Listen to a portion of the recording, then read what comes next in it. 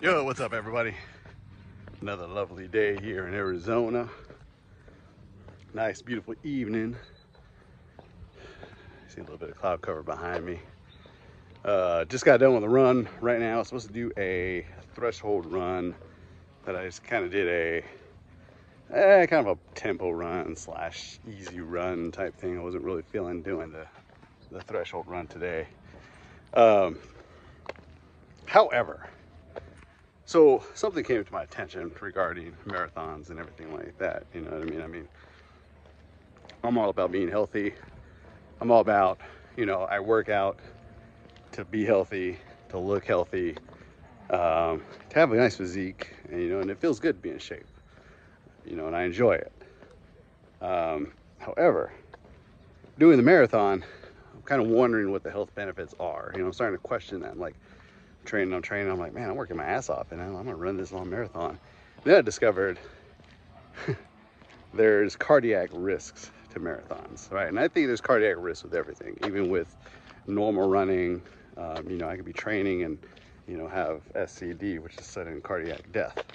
Um, you know, and it can happen during marathons too. It's been reported several times. I think the risks are really low, uh, but I think the important thing is to make sure that you uh, get screened and get cleared by a doctor before doing that.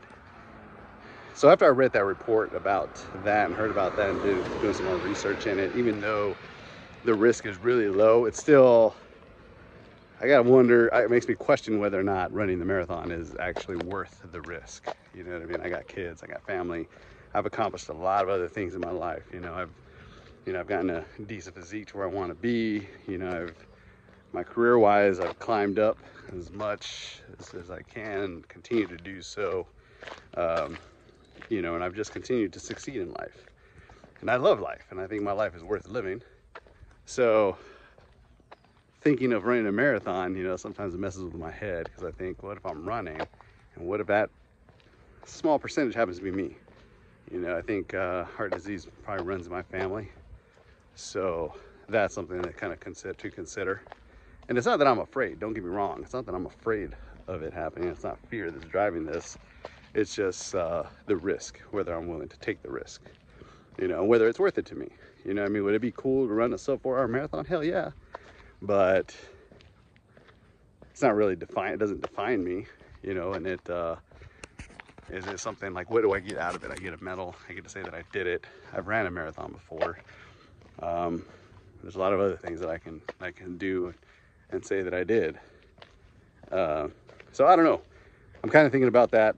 Um, I'm going to keep running, keep training, you know, and I am going to go get, uh, probably see about getting screened um, by a doctor just to make sure that, you know, see if it's clear and all that stuff there, you know, do maybe a stress test, uh, I don't know. I don't know, whatever they want to do, whatever test they need to do to clear me for this. And I know even then, it's still not 100% guaranteed because that's just life. That's how life works.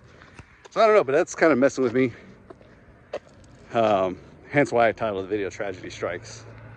You know, because during marathons, you can have a tragedy, whether it be busted knee, you know, you, whether you fall, hurt yourself. Uh, worst case scenario, you uh, you kick the bucket.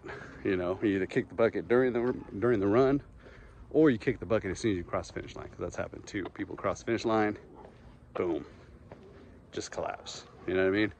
Uh, so yeah, I'm wondering if that's worth it. You know, is it worth it to me? Is like running 26.2 miles worth it?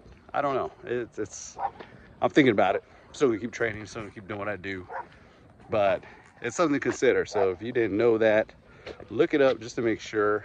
Um, you know, if, you're running your first marathon, um, just make sure that you get screened to make sure you're as safe as possible. All right, everybody, have a good one.